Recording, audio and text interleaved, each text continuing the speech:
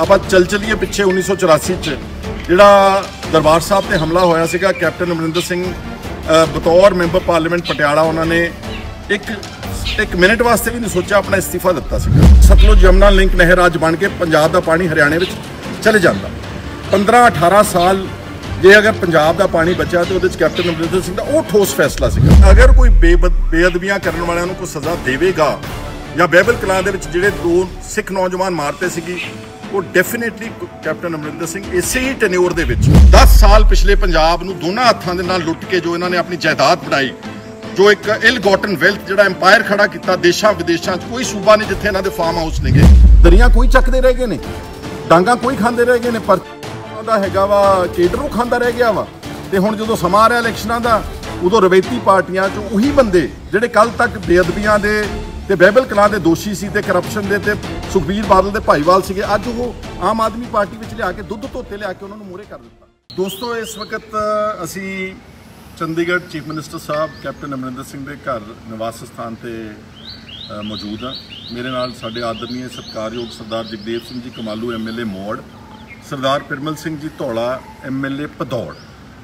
ਅਸੀਂ ਅੱਜ ਕੈਪਟਨ ਅਮਰਿੰਦਰ ਸਿੰਘ ਉਹਨਾਂ ਨਾਲ ਮੁਲਾਕਾਤ ਕੀਤੀ। ਉਹਨਾਂ ਨੇ ਸਾਨੂੰ ਇੰਡੀਅਨ ਨੈਸ਼ਨਲ ਕਾਂਗਰਸ ਪਾਰਟੀ ਵਿੱਚ ਸ਼ਾਮਲ ਕੀਤਾ ਵਾ। ਸਭ ਤੋਂ ਪਹਿਲਾਂ ਮੈਂ, ਅਸੀਂ ਸਾਰੇ ਬਹੁਤ ਰਿਣੀ ਆ, ਸ਼੍ਰੀਮਤੀ ਸੋਨੀਆ ਗਾਂਧੀ ਜੀ ਦਾ president all India Congress committee, Shri Rahul Gandhi ji ਦੇ, ਗਾਂਧੀ ਜੀ ਦਾ, ਔਰ ਹਰੀਸ਼ ਰਾਵਤ ਜੀ ਜਿਹੜੇ ਕਿ ਜਨਰਲ ਸੈਕਟਰੀ ਨੇ ਏਆਈਸੀਸੀ ਦੇ ਔਰ ਪੰਜਾਬ ਦੇ ਇੰਚਾਰਜ ਨੇ, ਔਰ ਉਹਨਾਂ ਦੇ ਨਾਲ ਨਾਲ ਸੁਨੀਲ ਜਾਖੜ ਜੀ, ਜਿਹੜੇ ਇਸ ਵਕਤ ਪੰਜਾਬ ਪ੍ਰਦੇਸ਼ ਕਾਂਗਰਸ ਪ੍ਰੈਸ- ਦੇ ਪਾਰਟੀ ਦੇ ਪ੍ਰਧਾਨ ਨੇ।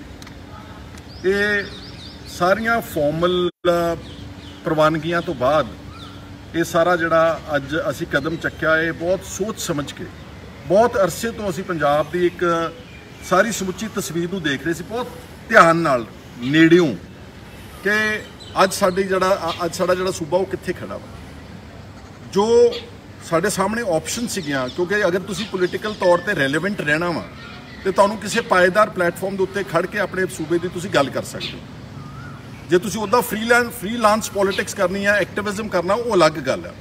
ਸੋ ਬਹੁਤ ਸੋਚਣ ਵਿਚਾਰਨ ਉਪਰੰਤ ਜਿਹੜੇ ਸਾਡੇ ਕੋਲ ਚੋਇਸਸ ਸੀਗੇ, ਉਹਨਾਂ ਚੋਂ ਅਸੀਂ ਅੱਜ ਵੀ ਇਹ ਸਮਝਿਆ ਕਿ ਕੈਪਟਨ ਅਮਰਿੰਦਰ ਸਿੰਘ ਇੱਕ ਸੁਹਿਰਦ, ਇੱਕ ਦੂਰੰਦੇਸ਼ ਔਰ ਇੱਕ ਉਹ ਆਗੂ ਆ ਜਿਸ ਨੇ ਪੰਜਾਬ ਲਈ ਹਮੇਸ਼ਾ ਡਟਮਾ ਸਟੈਂਡ ਲਿਆ ਵਾ। ਆਪਾਂ ਚੱਲ ਚਲੀਏ ਪਿੱਛੇ 1984 ਚ। ਜਿਹੜਾ ਦਰਬਾਰ ਸਾਹਿਬ ਤੇ ਹਮਲਾ ਹੋਇਆ ਸੀਗਾ, ਕੈਪਟਨ ਅਮਰਿੰਦਰ ਸਿੰਘ ਬਤੌਰ ਮੈਂਬਰ ਪਾਰਲੀਮੈਂਟ ਪਟਿਆਲਾ, ਉਹਨਾਂ ਨੇ ਇੱਕ ਇੱਕ ਮਿੰਟ ਵਾਸਤੇ ਵੀ ਨਹੀਂ ਸੋਚਿਆ, ਆਪਣਾ ਅਸਤੀਫਾ ਦਿੱਤਾ ਸੀਗਾ। ਜਿਸ ਕਰਕੇ ਉਹਨਾਂ ਦਾ ਪੰਜਾਬ ਔਰ ਦੁਨੀਆ ਭਰ ਵਿੱਚ ਖਾਸ ਤੌਰ ਤੇ ਸਿੱਖ ਜਗਤ ਵਿੱਚ ਬੜੀ ਪ੍ਰਵਾਨਗੀ ਹੋਈ। ਉਸ ਤੋਂ ਬਾਅਦ ਦੁਬਾਰਾ ਉਹ 1985 ਦੇ ਵਿੱਚ ਜਦੋਂ ਸ਼੍ਰੋਮਣੀ ਅਕਾਲੀ ਦਲ ਦੀ ਸਰਕਾਰ ਬਣੀ, ਸਰਦਾਰ ਸੁਰਜੀਤ ਸਿੰਘ ਬਰਨਾਲਾ ਚੀਫ ਮਿਨਿਸਟਰ ਬਣੇ ਬਰਨਾਲਾ ਸਾਹਿਬ ਦੀ ਸਰਕਾਰ ਨੇ ਇਸੇ ਤਰ੍ਹਾਂ ਹੀ ਇੱਕ ਗਲਤੀ ਦੁਹਰਾਈ ਕਿ ਉਹ ਆਪਰੇਸ਼ਨ ਬਲੈਕ ਥੰਡਰ ਦੇ ਤਹਿਤ ਦਰਬਾਰ ਸਾਹਿਬ ਦੇ ਵਿੱਚ 30 ਅਪ੍ਰੈਲ 1986 ਨੂੰ ਪੁਲਿਸ ਦੁਬਾਰਾ ਭੇਜ ਦਿੱਤੀ। ਉਸ ਦੇ ਨਾਲ ਪਾਰਟੀ ਦੇ ਵਿੱਚ ਬਹੁਤ ਔਰ ਦੁਨੀਆ ਭਰ ਦੇ ਵਿੱਚ ਬਹੁਤ ਗਿਲਾ ਹੋਇਆ। ਉਸ ਦਿਨ ਵੀ captain Amarinder Singh agriculture minister ਸੀ ਪੰਜਾਬ ਦੇ, ਉਹਨਾਂ ਨੇ ਬਿਨਾਂ ਝਿਜਕ ਤੋਂ ਉਸੇ ਵੇਲੇ ਆਪਣਾ ਅਸਤੀਫਾ ਜਿਹੜਾ ਸੀਗਾ ਉਹ ਦੇ ਦਿੱਤਾ। ਉਦੋਂ ਮੇਰੇ ਪਿਤਾ ਜੀ ਅੱਜ ਉਹ ਇਸ ਦੁਨੀਆ 'ਚ ਨਹੀਂਗੇ ਸਰਦਾਰ ਸੁਖਜਿੰਦਰ ਸਿੰਘ। ਉਹ ਵਿਦਿਆ ਮੰਤਰੀ ਸੀਗੇ ਤੇ ਕੈਪਟਨ ਸਾਹਿਬ ਖੇਤੀ ਮੰਤਰੀ ਸੀ। ਦੋਨਾਂ ਨੇ ਇਕੱਠੇ ਗਵਰਨਰ ਪੰਜਾਬ ਨੂੰ 30 ਅਪ੍ਰੈਲ 1986 ਨੂੰ ਅਸਤੀਫਾ ਦਿੱਤਾ ਸੀ। ਉਸ ਤੋਂ ਬਾਅਦ ਪਾਣੀਆਂ ਦਾ ਵਿਵਾਦ ਉੱਠਿਆ ਪੰਜਾਬ ਦਾ। Termination of waters agreement act ਜਿਹੜਾ 2004 ਚ ਕੈਪਟਨ ਅਮਰਿੰਦਰ ਸਿੰਘ ਨੇ ਪਾਸ ਕੀਤਾ, ਇਹ ਜਿਹੜਾ ਉਹਨਾਂ ਦਾ ਫੈਸਲਾ ਸੀਗਾ, ਇਹਦੇ ਨਾਲ ਪੰਜਾਬ ਦੇ ਪਾਣੀ ਬਚ ਗਏ ਆਪਣੇ। ਵਰਨਾ ਹੋ ਸਕਦਾ ਸੀ ਸਤਲੁਜ ਯਮਨਾ ਲਿੰਕ ਨਹਿਰ ਅੱਜ ਬਣ ਕੇ ਪੰਜਾਬ ਦਾ ਪਾਣੀ ਹਰਿਆਣੇ ਵਿੱਚ ਚਲੇ ਜਾਂਦਾ। 15 18 ਸਾਲ ਜੇ ਅਗਰ ਪੰਜਾਬ ਦਾ ਪਾਣੀ ਬਚਿਆ ਤਾਂ ਉਹਦੇ ਚ ਕੈਪਟਨ ਅਮਰਿੰਦਰ ਸਿੰਘ ਦਾ ਉਹ ਠੋਸ ਫੈਸਲਾ ਸੀਗਾ। ਉਹਦੇ ਨਾਲ ਪਾਰਟੀ ਹਾਈ ਕਮਾਂਡ ਵੀ ਨਾਰਾਜ਼ ਹੋਈ ਇਹਨਾਂ ਦੇ ਨਾਲ। ਪਰ ਅਮਰਿੰਦਰ ਸਿੰਘ ਨੇ ਆਪਣੀ ਨਾ ਕੁਰਸੀ ਦੀ ਪਰਵਾਹ ਕੀਤੀ, ਨਾ ਆਪਣੀ ਕਿਸੇ ਗੱਲ ਦੀ ਪਰਵਾਹ ਕੀਤੀ। ਉਹਨਾਂ ਨੇ ਇਹ ਪਾਣੀਆਂ ਦਾ ਫੈਸਲਾ ਲੈ ਕੇ ਇੱਕ ਵਾਰ ਫਿਰ ਸਾਬਤ ਕਰ ਦਿੱਤਾ ਕਿ ਪੰਜਾਬ ਦਾ ਜਦੋਂ ਵੀ ਪੰਜਾਬ ਦਾ ਹਿੱਤ ਆਵੇਗਾ ਤਾਂ ਅਮਰਿੰਦਰ ਸਿੰਘ ਜਿਹੜੀ ਜਿਹੜੀ ਕੋਈ ਵੀ ਪੋਲੀਟੀਕਲ ਲਾਈਨ ਹੈ, ਉਸ ਤੋਂ ਉੱਪਰ ਉੱਠ ਕੇ ਕੰਮ ਕਰਨ ਲਈ ਸੂਬੇ ਤੇ ਆਪਣੇ ਲੋਕਾਂ ਲਈ ਤਿਆਰ ਹੈ। ਆ ਹੁਣੇ ਤਾਜ਼ਾ ਮਿਸਾਲ ਕਿਸਾਨ ਅੰਦੋਲਨ ਹੋਇਆ ਵਾ। ਕਿਸਾਨਾਂ ਦੇ ਤਿੰਨ ਕਾਲੇ ਕਾਨੂੰਨ ਬਣਾਏ ਗਏ ਨੇ ਬੀਜੇਪੀ ਸਰਕਾਰ ਵੱਲੋਂ। ਬਹੁਤ ਹਾਕਰ ਮਚੀ, ਬਹੁਤ ਸ਼ੋਰ ਮਚਿਆ। ਚੰਦ ਸਟੇਟਾਂ ਨੇ ਇਸ ਦੇਸ਼ ਵਿੱਚ, ਉਹਨਾਂ 'ਚ ਪੰਜਾਬ ਇੱਕ ਆ ਜਿੱਥੇ ਕੈਪਟਨ ਅਮਰਿੰਦਰ ਸਿੰਘ ਨੇ ਪੰਜਾਬ ਦੀ ਵਿਧਾਨ ਸਭਾ ਦਾ ਸਪੈਸ਼ਲ ਸੈਸ਼ਨ ਬੁਲਾ ਕੇ ਇਹਨਾਂ ਤਿੰਨੇ ਕਾਲੇ ਕਾਨੂੰਨਾਂ ਨੂੰ ਅਮੈਂਡ ਕਰਕੇ ਔਰ ਇੱਕ ਰੈਜ਼ੋਲੂਸ਼ਨ ਪਾਸ ਕੀਤਾ, ਇਹਦਾ ਡਟਮਾ ਵਿਰੋਧ ਕੀਤਾ ਕੇਂਦਰ ਦੀ ਬੀਜੇਪੀ ਦੀ ਸਰਕਾਰ ਦਾ। ਔਰ ਸਾਰੀਆਂ ਪਾਰਟੀਆਂ ਨੇ ਕੁਝ ਪਾਰਟੀਆਂ ਬਾਅਦ ਵਿੱਚ ਮੁੱਕਰ ਗਈਆਂ ਉਹ ਅਲੱਗ ਗੱਲ ਹੈ। ਲੇਕਿਨ ਅਮਰਿੰਦਰ ਸਿੰਘ ਨੇ ਆਪਣੀ ਵਿਜ਼ਨਰੀ ਲੀਡਰਸ਼ਿਪ ਤੇ ਇੱਕ ਠੋਸ, ਮਜ਼ਬੂਤ ਇਰਾਦਾ ਦਿਖਾਉਂਦੇ ਹੋਏ ਪੰਜਾਬ ਦੇ ਕਿਸਾਨਾਂ ਦੇ ਦੀ ਹਿਫਾਜ਼ਤ ਵੀ ਕੀਤੀ ਆ। ਅੱਜ ਪੰਜਾਬ ਇੱਕ ਵਾਰ ਫਿਰ ਬੇਅਦਬੀਆਂ ਦੇ ਦੌਰ ਚੋਂ ਗੁਜ਼ਰ ਰਿਹਾ ਵਾ। ਇੱਕ ਉਹਨਾਂ ਇਸ ਤਰ੍ਹਾਂ ਦੇ ਦੌਰ ਚੋਂ ਗੁਜ਼ਰਿਆ ਜਿਹਦੇ ਚ ਪੰਜਾਬ ਦੇ ਲੋਕ ਚਾਹੁੰਦੇ ਨੇ ਕਿ ਜਿਹਨਾਂ ਲੋਕ ਜਿਹੜੇ ਗੁਨਾਹਗਾਰ ਨੇ, ਉਹਨਾਂ ਨੂੰ ਕੋਈ ਸਜ਼ਾ ਦੇਵੇ। ਮੈਂ ਤੁਹਾਨੂੰ 25 ਸਾਲ ਦੇ ਆਪਣੇ ਤਜਰਬੇ ਤੋਂ ਔਰ ਜੋ ਕੈਪਟਨ ਅਮਰਿੰਦਰ ਸਿੰਘ ਤੇ ਮੇਰੇ ਪਿਤਾ ਜੀ ਸਰਦਾਰ ਸੁਖਜਿੰਦਰ ਸਿੰਘ ਜੀ ਦੀ ਪੁਰਾਣੀ ਇੱਕ ਇਹਨਾਂ ਦੀ ਆਪਸ ਵਿੱਚ ਸਾਂਝ ਸੀ, ਉਸ ਤੋਂ ਬਾਅਦ ਮੈਂ ਤੁਹਾਨੂੰ ਦੱਸ ਰਿਹਾ, ਨੇੜਿਓਂ ਦੇਖਣ ਤੋਂ ਬਾਅਦ ਕਿ ਅਗਰ ਕੋਈ ਬੇਬਦ- ਬੇਅਦਬੀਆਂ ਕਰਨ ਵਾਲਿਆਂ ਨੂੰ ਕੋਈ ਸਜ਼ਾ ਦੇਵੇਗਾ ਜਾਂ ਬਹਿਬਲ ਕਲਾਂ ਦੇ ਵਿੱਚ ਜਿਹੜੇ ਦੋ ਸਿੱਖ ਨੌਜਵਾਨ ਮਾਰਤੇ ਸੀਗੀ, ਉਹ ਡੈਫੀਨੇਟਲੀ ਕੈਪਟਨ ਅਮਰਿੰਦਰ ਸਿੰਘ ਇਸੇ ਹੀ ਟੈਨਿਓਰ ਦੇ ਵਿੱਚ। ਕੁਝ ਲੋਕਾਂ ਨੂੰ ਐ ਹੋ ਗਿਆ ਜੀ ਹਾਈ ਕੋਰਟ ਨੇ ਫੈਸਲਾ ਦਿੱਤਾ। ਹਾਈ ਕੋਰਟ ਨੇ ਫੈਸਲਾ ਦੇ ਦਿੱਤਾ ਵਾ, ਠੀਕ ਆ। ਉਸ ਨੂੰ ਵੀ ਕਿਹੜਾ ਚੀਫ ਮਿਨਿਸਟਰ ਆ ਜਿਹੜਾ ਉਹਨੂੰ ਪੋਲੀਟੀਕਲ ਕਰਾਰ ਦਿੰਦਾ ਵਾ? ਔਰ ਹਾਈ ਕੋਰਟ ਨੇ 6 ਮਹੀਨੇ ਦਾ ਟਾਈਮ ਦਿੱਤਾ ਐਸਆਈਟੀ ਨੂੰ। ਬਟ ਇਹਦਾ ਮਤਲਬ ਇਹ ਨਹੀਂਗਾ ਕਿ ਇਹ ਜਾਂਚ 6 ਮਹੀਨੇ ਤੱਕ ਚੱਲੇਗੀ। ਇਹ ਗੱਲ ਸ਼ਾਇਦ ਚੰਗੀ ਤਰ੍ਹਾਂ ਜਾ ਨਹੀਂ ਸਕੀ ਪੰਜਾਬ ਦੇ ਲੋਕਾਂ ਦੀ ਕਚਹਿਰੀ ਦੇ ਵਿੱਚ। ਇਹ ਫੈਸਲਾ ਮੈਕਸਿਮਮ ਵਿਦਿਨ ਨੈਕਸਟ 2 ਮੰਥਸ ਜਿਹੜੇ ਕਲਪ੍ਰਿਟਸ ਨੇ ਬੇ- ਬੇਅਦਬੀਆਂ ਦਾ ਆਲਰੇਡੀ ਐਸਆਈਟੀ ਨੇ ਕੰਮ ਕਾਫੀ ਤੇਜ਼ੀ ਨਾਲ ਸ਼ੁਰੂ ਕਰਤਾ। ਜਿਹੜੇ ਗੁਨਾਹਗਾਰ ਨੇ ਬੈਬਲ ਕਲਾਂ ਦੇ ਗੋਲੀकांड ਦੇ ਗੁਨਾਹਗਾਰ ਨੇ, ਉਹ ਤੁਸੀਂ ਦੇਖੋਗੇ ਕਿ ਉਹਨਾਂ ਨੂੰ ਡੈਫੀਨਿਟਲੀ ਸਜ਼ਾ ਹੋਵੇਗੀ। ਅੱਜ ਅਗਰ ਪੰਜਾਬ ਬੇਰੁਜ਼ਗਾਰੀ 'ਚ ਆ, ਅਗਰ ਅੱਜ ਉਹ ਪੰਜਾਬ ਕਰਜ਼ਈ ਆ, ਅੱਜ ਅਗਰ ਪੰਜਾਬ ਅਗਰ ਮਾਫੀਆ ਦਾ ਨਾਮ ਚੱਲ ਰਿਹਾ ਤੇ ਇਹਦੀ ਪਿਰਤਾ ਕਿਹਨਾਂ ਨੇ ਪਾਈਆਂ ਨੇ? ਇਹਨਾਂ ਅਖੌਤੀ ਅਕਾਲੀਆਂ ਨੇ। ਇਸ ਬਾਦਲ ਦੇ ਪਰਿਵਾਰ ਨੇ, ਨਾਲੇ ਤਾਂ ਇਹਨਾਂ ਨੇ ਅਕਾਲੀ ਦਲ ਦੇ ਉੱਤੇ ਟੱਬਰ ਦਾ ਕਬਜ਼ਾ ਕਰਕੇ ਉਸ, ਇੱਕ ਸ਼ਾਨਾ ਮੱਤਾ ਪਾਰਟੀ ਨੂੰ ਬਰਬਾਦ ਕਰ ਦਿੱਤਾ, ਉਹਨੂੰ ਜੜੋਂ ਉਖਾੜ ਕੇ ਰੱਖ ਦਿੱਤਾ ਪੰਜਾਬ ਦੇ ਵਿੱਚ। ਐਸਜੀਪੀਸੀ ਦਾ ਦੁਰਉਪਯੋਗ। ਅੱਜ ਵੀ ਦੁਰਉਪਯੋਗ ਕਰ ਰਿਹਾ Sukhbir Singh Badal for personal political whims and fancies Akal Takht Sahib ਨੂੰ ਨਹੀਂ ਬਖਸ਼ਿਆ ਗਿਆ, ਉੱਥੋਂ ਦੇ ਜਥੇਦਾਰ ਆਪਣੇ ਥੋਪ ਕੇ, ਹੱਥ ਟੋਕੇ ਲਾ ਕੇ, ਤੇ ਉਹਨਾਂ ਜਥੇਦਾਰਾਂ ਕੋਲੋਂ ਗਲਤ ਫੈਸਲੇ ਸਿੰਘ ਬਾਦਲ ਨੇ 2015 ਦੀ 16 ਸਪਟੈਂਬਰ, ਜਥੇਦਾਰ ਅਕਾਲ ਤਖਤ ਉਸ ਵੇਲੇ ਸੀ ਗਿਆਨੀ ਗੁਰਬਚਨ ਸਿੰਘ ਤੇ ਜਥੇਦਾਰ ਦਮਦਮਾ ਸਾਹਿਬ ਦਾ ਸੀਗਾ। ਜਿਹੜੇ ਗਿਆਨੀ, ਉਹਨਾਂ ਦਾ ਨਾਮ ਮੈਨੂੰ ਇੱਕਦਮ ਚੇਤੇ ਨਹੀਂ ਆ ਰਿਹਾ। ਅਕਾ, ਜਿਹੜੇ ਤਖਤ ਦਮਦਮਾ ਸਾਹਿਬ ਦੇ ਗੁਰਮੁਖ ਸਿੰਘ, ਗਿਆਨੀ ਗੁਰਮੁਖ ਸਿੰਘ, ਉਹਨਾਂ ਨੂੰ ਇੱਥੇ ਬੁਲਾ ਕੇ ਤੇ ਜਿਹੜਾ ਡੇਰਾ ਸੱਚਾ ਸੌਦਾ ਦੇ ਸਾਧ ਨੂੰ, ਮੁਖੀਆ ਨੂੰ ਜਿਹੜਾ ਮਾਫੀਨਾਮਾ ਦਿੱਤਾ ਗਿਆ ਨਾ ਅਕਾਲ ਤਖਤ ਸਾਹਿਬ ਤੋਂ 24 ਸਪਟੈਂਬਰ 2015 ਨੂੰ ਤਾਂ ਕਿ ਉਹਦੀ ਫਿਲਮ ਰਿਲੀਜ਼ ਹੋ ਜਾਏ ਅਗਲੇ ਦਿਨ 25 ਸਪਟੈਂਬਰ ਨੂੰ ਐਮਐਸਜੀ ਜਿਹੜੀ ਫਿਲਮ ਬਣਾਈ ਸੀ, ਡੇਰਾ ਸੱਚਾ ਸੌਦਾ ਸਾਥ ਨੇ ਉਸ ਨੂੰ ਰਿਲੀਜ਼ ਕਰਨ ਲਈ ਦੋਨੋਂ ਪਿਓ ਪੁੱਤ ਬਾਦਲਾਂ ਨੇ ਇਸੇ ਰਹਿائش ਵਿੱਚ ਜਥੇਦਾਰ ਅਕਾਲ ਤਖਤ ਨੂੰ ਬੁਲਾ ਕੇ ਇੱਥੇ ਉਪਦੇਸ਼ ਦਿੱਤਾ ਤੇ ਉਹ ਉਪਦੇਸ਼ ਐਮਰਜੈਂਸੀ ਮੀਟਿੰਗ ਕਰਕੇ 25 24 ਸਪਟੈਂਬਰ 2015 ਨੂੰ ਜਿਹੜਾ ਜਾਰੀ ਕੀਤਾ ਗਿਆ ਫਰਮਾਨ, ਜਿਹੜਾ ਕਿ ਸਿੱਖਾਂ ਦੇ ਵਿੱਚ ਇੱਕ ਬਹੁਤ ਵੱਡਾ ਉਬਾਲ ਹੋਇਆ, ਬਹੁਤ ਵੱਡਾ ਵਿਰੋਧ ਹੋਇਆ। ਉਸ ਤੋਂ ਬਾਅਦ ਉਹ ਜਥੇਦਾਰਾਂ ਨੂੰ ਉਹ ਹੁਕਮਨਾਮਾ ਵਾਪਸ ਲੈਣਾ ਪਿਆ।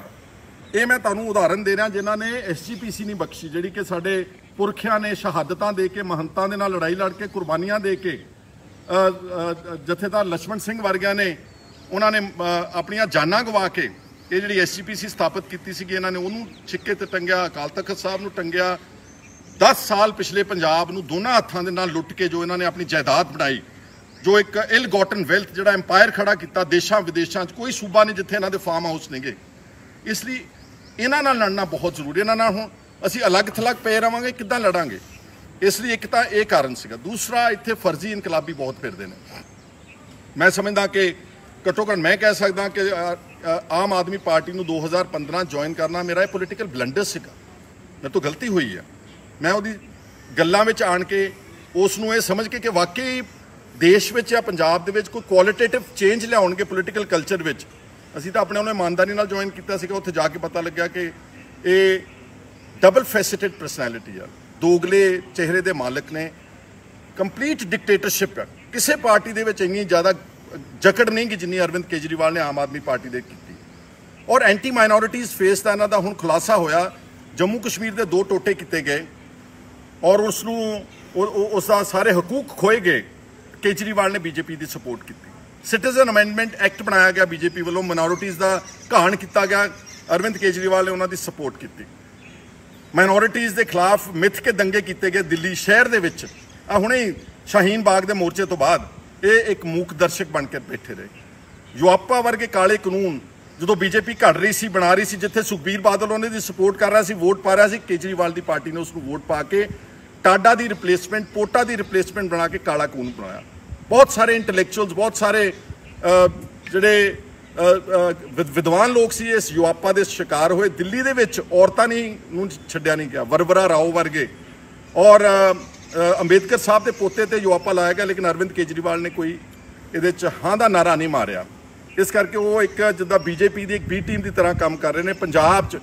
ਉਹਨਾਂ ਨੇ ਮੈਂ ਸਮਝਦਾ ਕਿ ਅਨਡੈਮੋਕ੍ਰੈਟਿਕ ਤਰੀਕੇ ਨਾਲ ਜਿੰਨੇ ਐਮਐਲਏ ਸੀ ਸਭ ਨੂੰ ਟਵਿੱਟਰਾਂ ਦੇ ਉੱਤੇ ਦਬਾ ਦਬਾ ਕੇ ਬਟਨ ਚਾਹੇ ਉਹ ਛੋਟੇਪੁਰ ਸਾਹਿਬ ਹੈ, ਚਾਹੇ ਉਹ ਗਾਂ ਡਾਕਟਰ ਗਾਂਧੀ ਸੀ, ਚਾਹੇ ਉਹ ਗੁਰਪ੍ਰੀਤ ਘੁੱਗੀ ਸੀ, ਤੇ ਚਾਹੇ ਅਸੀਂ ਸਾਰੇ ਉਹਨਾਂ ਦੇ ਸ਼ਿਕਾਰ ਹੋਏ ਆ ਕਿਉਂਕਿ ਉਹ ਕਿਸੇ ਨੂੰ, ਉਹ ਕਿਸੇ ਇਸ ਤਰ੍ਹਾਂ ਦੇ ਵਿਅਕਤੀ ਨੂੰ ਪਸੰਦ ਨਹੀਂ ਕਰਦੇ ਜਿਹੜਾ ਉਹਨਾਂ ਦੀ ਅੱਖ 'ਚ ਅੱਖ ਪਾ ਕੇ ਗੱਲ ਕਰ ਸਕੇ। ਸੋ ਮੈਂ ਸਮਝਦਾ ਕਿ ਕਿਤੇ ਨਾ ਕਿਤੇ ਇਹ ਗਲਤੀ ਸੀ, ਔਰ ਅੱਜ ਮੈਂ ਸਵੀਕਾਰ ਤੱਕ ਸਾਥ ਦਿੱਤਾ। ਮੈਨੂੰ ਅੱਛੀ ਤਰ੍ਹਾਂ ਯਾਦ ਹੈ ਪ੍ਰਸ਼ਾਂਤ ਕਿਸ਼ੋਰ, ਜਿਹੜੇ ਮੀਡੀਆ ਦੇ ਸਾਰੇ ਇੰਚਾਰਜ ਸੀ, ਕਾਂਗਰਸ ਦੇ 2017 ਦੀ ਚੋਣ 'ਚ ਮੈਨੂੰ ਇਲੈਕਸ਼ਨਾਂ ਤੋਂ 3 ਮਹੀਨੇ ਪਹਿਲਾਂ ਮਿਲੇ ਸੀਗੇ। ਉਹਨਾਂ ਨੇ ਕਿਹਾ, ਸਾਡੀ ਪੰਜਾਬ ਦੇ ਵਿੱਚ ਕਾਂਗਰਸ ਸਰਕਾਰ ਬਣ ਰਹੀ ਹੈ ਤੇ ਤੂੰ ਕਾਂਗਰਸ ਵਿੱਚ ਜੇ ਅੱਜ ਵੀ ਆ ਜਾਏਗਾ, ਤੈਨੂੰ ਅਸੀਂ ਕੈਬਨਿਟ ਮਿਨਿਸਟਰ ਬਣਾਵਾਂਗੇ। ਮੈਂ ਕਿਹਾ, ਹੁਣ ਮੈਂ ਫੈਸਲਾ ਇੱਕ ਵਾਰ ਜਦੋਂ ਕਰ ਚੁੱਕਿਆ ਨਾ, ਜਿੱਤ ਹੋਵੇ ਜਾਂ ਹਾਰ ਹੋਵੇ, ਮੈਂ ਇਸੇ ਪਾਰਟੀ ਦੇ ਨਾਲ ਭੁਗਤਾਂਗਾ। ਇਲੈਕਸ਼ਨਾਂ ਹੋਈਆਂ, ਉਸ ਵਿੱਚ ਅਸੀਂ ਫੁਲਕਾ ਸਾਹਿਬ ਬਣੇ ਲੀਡਰ ਆਫ ਆਪੋਜੀਸ਼ਨ ਅੱਛਾ ਰੋਲ ਅਦਾ ਕੀਤਾ। ਉਹ ਤੋਂ ਬਾਅਦ ਮੈਨੂੰ ਮੌਕਾ ਮਿਲਿਆ ਇੱਕ ਸਾਲ, ਜਿੰਨੀ ਵੀ ਮੇਰੇ 'ਚ ਇਮਾਨਦਾਰੀ ਸੀਗੀ, ਕਿਉਂਕਿ ਉਸ ਵਕਤ ਜੋ ਪੰਜਾਬ ਲਈ ਮੈਂ ਸਮਝਦਾ ਸੀ, ਠੀਕ ਆ, ਅਗਰ ਜੋ ਕੁਝ ਹੋ ਰਿਹਾ ਸੀਗਾ, ਅਸੀਂ ਉਹਦਾ ਬਤੌਰ ਇੱਕ ਲੀਡਰ ਆਫ ਆਪੋਜੀਸ਼ਨ ਆਪਣਾ ਰੋਲ ਅਦਾ ਕੀਤਾ। ਔਰ ਉਸ ਤੋਂ ਬਾਅਦ ਜਿਸ ਢੰਗ ਦੇ ਨਾਲ ਇਹਨਾਂ ਨੇ ਆਪ ਟਵਿੱਟਰ ਦੇ ਉੱਤੇ ਐਮਐਲਏ ਨੂੰ ਕੱਢ- ਕੱਢ ਕੇ ਬਾਹਰ ਮਾਰਿਆ, ਪਾਰਟੀ ਆਪ ਖਰਾਬ ਕਰ ਦਿੱਤੀ। ਅੱਜ ਜਿਹੜੀ ਪਾਰਟੀ ਕਹਿੰਦੀ ਸੀ ਨਾ, ਤੁਸੀਂ ਸੁਣਦੇ ਰਹੇ ਹੋ ਇਹਨਾਂ ਦਾ ਲੋਕਲ ਪ੍ਰਧਾਨ ਪੰਜਾਬ ਦਾ ਹਮੇਸ਼ਾ ਕਹਿੰਦਾ ਕਿ ਅਸੀਂ ਪੈਂਚਰ ਵਾਲਿਆਂ ਨੂੰ ਟਿਕਟਾਂ ਦੇਵਾਂਗੇ ਰੇੜੀਆਂ ਵਾਲਿਆਂ ਨੂੰ ਟਿਕਟਾਂ ਦੇਵਾਂਗੇ ਆਮ ਆਦਮੀ ਨੂੰ ਟਿਕਟਾਂ ਦੇਵਾਂਗੇ ਤੇ ਅੱਜ ਜਿਹੜੇ ਜੁਆਇਨ ਕਰਾ ਰਹੇ ਨੇ, ਕੌਣ ਹੈ ਬੰਦੇ ਇਹ? ਆ ਹੁਣੇ ਜਗਜੀਵਨ ਪਾਲ ਖੀਰਨੀਆ ਅਕਾਲੀ ਦਲ ਦਾ ਐਕਸ ਐਮਐਲਏ ਸਮਰਾਲੇ ਤੋਂ ਜੁਆਇਨ ਕੀਤਾ। ਦਰੀਆਂ ਕੋਈ ਚੱਕਦੇ ਰਹਿ ਗਏ ਨੇ, ਡਾਂਗਾ ਕੋਈ ਖਾਂਦੇ ਰਹਿ ਗਏ ਨੇ ਪਰ ਉਹਨਾਂ ਦਾ ਹੈਗਾ ਵਾ, ਕੇਡਰੋ ਖਾਂਦਾ ਰਹਿ ਗਿਆ ਵਾ। ਤੇ ਹੁਣ ਜਦੋਂ ਸਮਾਂ ਆ ਰਿਹਾ ਇਲੈਕਸ਼ਨਾਂ ਦਾ, ਉਦੋਂ ਰਵੈਤੀ ਪਾਰਟੀਆਂ 'ਚ ਉਹੀ ਬੰਦੇ ਜਿਹੜੇ ਕੱਲ ਤੱਕ ਬੇਅਦਬੀਆਂ ਦੇ ਤੇ ਬਹਿਬਲ ਕਲਾਂ ਦੇ ਦੋਸ਼ੀ ਸੀ ਤੇ ਕਰਪਸ਼ਨ ਦੇ ਤੇ ਸੁਖਬੀਰ ਬਾਦਲ ਦੇ ਭਾਈਵਾਲ ਸੀਗੇ, ਅੱਜ ਉਹ ਆਮ ਆਦਮੀ ਪਾਰਟੀ ਵਿੱਚ ਲਿਆ ਕੇ ਦੁੱਧ ਧੋਤੇ ਲਿਆ ਕੇ ਉਹਨਾਂ ਨੂੰ ਮੂਹਰੇ ਕਰ ਦਿੱਤਾ।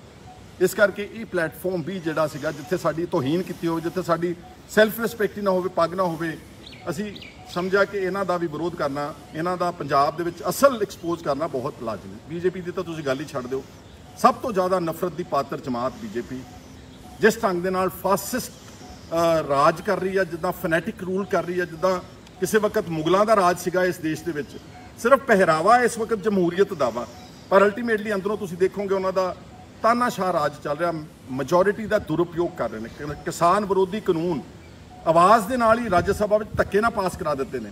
ਸਾਰੇ ਵਾਈਟਲ ਇੰਸਟੀਟਿਊਸ਼ਨਸ ਇਸ ਕੰਟਰੀ ਦੇ, ਚਾਹੇ ਉਹ ਇਲੈਕਸ਼ਨ ਕਮਿਸ਼ਨ ਆਫ ਇੰਡੀਆ ਵਾ, ਚਾਹੇ ਉਹ ਸੀਬੀਸੀ ਹੈ ਚਾਹੇ ਉਹ ਇਨਫੋਰਮੇਸ਼ਨ ਕਮਿਸ਼ਨ ਹੈ, ਚਾਹੇ ਉਹ ਹਿਊਮਨ ਰਾਈਟਸ ਕਮਿਸ਼ਨ ਹੈ ਨਾਰਮਲ ਕੋਰਸ ਵਿੱਚ chief justice of India retired ਹਮੇਸ਼ਾ ਹੈਡ ਕਰਦੇ ਰਹੇ ਨੇ ਹਿਊਮਨ ਰਾਈਟਸ ਕਮਿਸ਼ਨ ਨੂੰ, ਲੇਕਿਨ ਇਸ ਵਾਰ ਪਹਿਲੀ ਵਾਰ ਹੈਂਡ ਪਿਕਡ ਜੱਜ ਨੂੰ, ਇੱਕ ਜੱਜ ਨੂੰ ਉਹਨਾਂ ਨੇ ਉਸ ਦਾ ਬਣਾ ਕੇ ਇਹ ਸਾਬਤ ਕਰ ਦਿੱਤਾ ਕਿ ਅਸੀਂ ਸੰਵਿਧਾਨ ਤੇ ਕਨਸਟੀਟਿਊਸ਼ਨ ਵਿੱਚ ਸਾਡਾ ਕੋਈ ਯਕੀਨ ਨਹੀਂ ਹੈ। ਉਹ ਜ਼ੋਰ ਨਾਲ ਔਰ ਕੀ ਕਹਿੰਦੇ ਆ ਫਿਰਕਾ ਪ੍ਰਸਤੀ ਦੇ ਨਾਲ ਔਰ ਖਾਸ ਤੌਰ ਤੇ ਅਕਲੀਅਤਾਂ ਦੇ ਖਿਲਾਫ ਇੱਕ ਏਜੰਡਾ ਬੀਜੇਪੀ ਜਿਹੜਾ ਲੈ ਕੇ ਚੱਲਦੀ ਤੇ ਕਿਸਾਨਾਂ ਦੇ ਖਿਲਾਫ ਜਿੱਦਾਂ ਉਹਨਾਂ ਨੂੰ ਬੈਠਿਆਂ ਨੂੰ ਵਿਚਾਰਿਆਂ ਨੂੰ ਪੁੰਜੇ ਇੰਨੇ ਮਹੀਨੇ ਹੋ ਗਏ ਨੇ 6 ਮਹੀਨੇ ਤੋਂ ਜ਼ਿਆਦਾ ਕਦੀ ਉਹਨਾਂ ਨੂੰ ਖਾਲਿਸਤਾਨੀ ਕਹਿੰਦੇ ਨੇ ਕਦੀ ਉਹਨਾਂ ਨੂੰ ਨਕਸਲਵਾਦੀ ਕਹਿੰਦੇ ਨੇ ਕਦੀ ਉਹਨਾਂ ਨੂੰ ਅ, ਅੱਤਵਾਦੀ ਕਹਿੰਦੇ ਨੇ ਕਦੀ ਉਹਨਾਂ ਨੂੰ ਕਿਸੇ ਤਰ੍ਹਾਂ ਦਾ ਕਦੀ ਕਹਿੰਦੇ ਪਿਕਨਿਕ ਕਰਨ ਆਏ ਨੇ। ਇਸ ਲਈ ਬੀਜੇਪੀ ਨੂੰ ਡਿਫੀਟ ਕਰਨਾ ਇਹ ਮੈਂ ਸਮਝਦਾ ਕਿ ਹਰ ਠੀਕ ਸੋਚ ਰੱਖਣ ਵਾਲੇ ਅਗਰ ਜਿਹੜੇ ਦੋਸ਼ ਅਗਰ ਦੇਸ਼ ਹਿਤੈਸ਼ੀ ਜਿਹੜੇ ਨੇ ਇਹਨਾਂ ਨੂੰ ਇਹਨਾਂ ਨੂੰ ਡਿਫੀਟ ਕਰਨ ਵਾਸਤੇ ਕਿਸੇ ਪਲੇਟਫਾਰਮ ਨੂੰ ਚੁਣਨਾ ਬਹੁਤ ਜ਼ਰੂਰੀ ਸੀਗਾ। ਔਰ ਮੈਂ ਅੰਤ 'ਚ ਇੱਕ ਗੱਲ ਕਹਿਣਾ ਚਾਹੁੰਦਾ ਕਿ ਇਹ ਨਹੀਂ ਕਿ ਅਸੀਂ ਕੋਸ਼ਿਸ਼ ਨਹੀਂ ਕੀਤੀ। ਮੈਂ ਬਹੁਤ ਸਾਰੇ ਲਾਈਕ ਮਾਈਂਡਡ ਲੀਡਰਸ ਨੂੰ ਪਿਛਲੇ ਡੇਢ ਸਾਲ ਤੋਂ ਇਕੱਠੇ ਕਰਕੇ ਸਮਝਾਉਣ ਦੀ ਕੋਸ਼ਿਸ਼ ਕੀਤੀ ਕਿ ਆ ਜਿਹੜੀਆਂ ਛੋਟੀਆਂ-ਛੋਟੀਆਂ ਪਾਰਟੀਆਂ ਬਣਾਈਆਂ ਇਹਨਾਂ ਨੂੰ ਬੰਦ ਕਰ ਦਿਓ। ਆਓ ਆਪਾਂ ਸਾਰੇ ਇਕੱਠੇ ਹੋਈਏ। ਪੰਜਾਬ ਦੇ ਲੋਕ ਵਿਕਲਪ ਭਾਲਦੇ ਸੀ। ਆਪਾਂ ਵਿਕਲਪ ਬਣਾਉਣ ਦੀ ਕੋਸ਼ਿਸ਼ ਕਰੀ ਲੇਕਿਨ ਮੈਂ ਹੁਣ ਕਿਸੇ ਦਾ ਨਾ ਖੁਲਾਸਾ ਕਰਨਾ ਚਾਹੁੰਦਾ, ਨਾ ਕਿਸੇ ਦਾ ਨਾਮ ਲੈਣਾ ਚਾਹੁੰਦਾ, ਲੇਕਿਨ ਅਸੀਂ ਉਹਦੇ ਵਿੱਚ ਮਕਸਦ 'ਚ ਕਾਮਯਾਬ ਨਹੀਂ ਹੋਏ। ਹਲਕਾ ਪੁਲਤ ਜਿਹੜਾ, ਉਹਦਾ ਸਾਡੇ ਨਾਲ 50 ਸਾਲ ਦਾ ਤੁਲਕ ਹੈ 50 ਇਅਰਸ 72 ਵਿੱਚ ਮੇਰੇ ਪਿਤਾ ਜੀ ਸਰਦਾਰ ਸੁਖਜਿੰਦਰ ਸਿੰਘ ਨੇ ਪਹਿਲੀ ਇਲੈਕਸ਼ਨ ਲੜੀ ਸੀ।